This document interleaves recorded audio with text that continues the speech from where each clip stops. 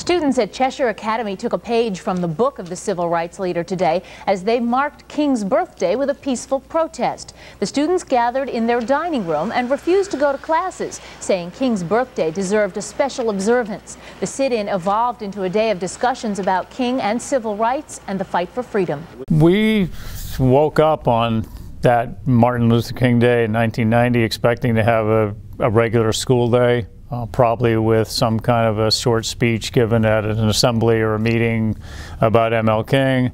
Uh, and I think to the surprise of most of the faculty, our classrooms were empty. And we soon discovered that there was a large student gathering in the dining hall. Uh, the kids were sitting in a big circle or standing in a big circle, I guess it was, uh, when we finally went in there, and, and they were talking about Martin Luther King Day and many issues related to the school and to the country and to African American experience.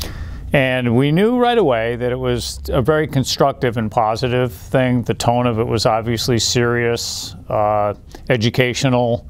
Uh, we were really actually proud of our students for uh, conducting themselves in such a constructive and meaningful way. We've tried to follow Dr. King's example to the T today. Now, there have been no rowdy foot stompings or anything like that. Everybody's been very calm. It's been very organized by several student leaders. Well, I wanted to just enhance the students' awareness about Martin Luther King and black history in general. I think society as a whole is ignorant to what blacks are about and what they do for America. And I, I think we really enhanced everybody's awareness.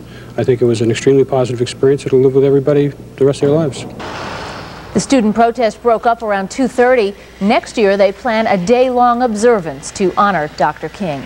So it was apparent that something important was going on, and, and indeed, um, it led to our changing our thinking about how to handle Martin Luther King Day. We had never had the day off.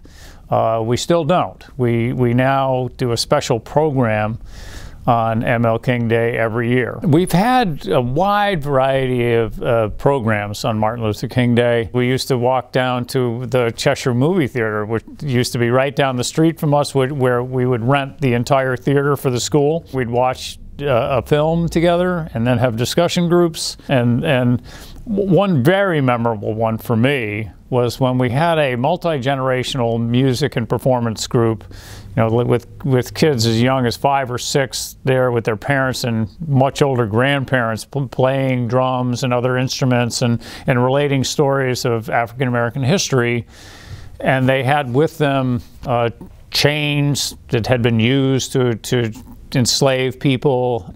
I, I, think it had a big impact on everyone. We were proud of our students on that day in 1990. Uh, it was a very interesting and, and unique event uh, at the school, and it, I, and I think it just spoke well of the uh, the trust that the students had in, in the faculty, um, the trust they had in the community that they could do this and it would be handled well and it would be it would turn into something important for the school. And, and I found the headmaster's uh, head of school's comments about it on, on the video interesting that when he said that the students who were part of this will remember it for the rest of their lives, and I'm sure that's true.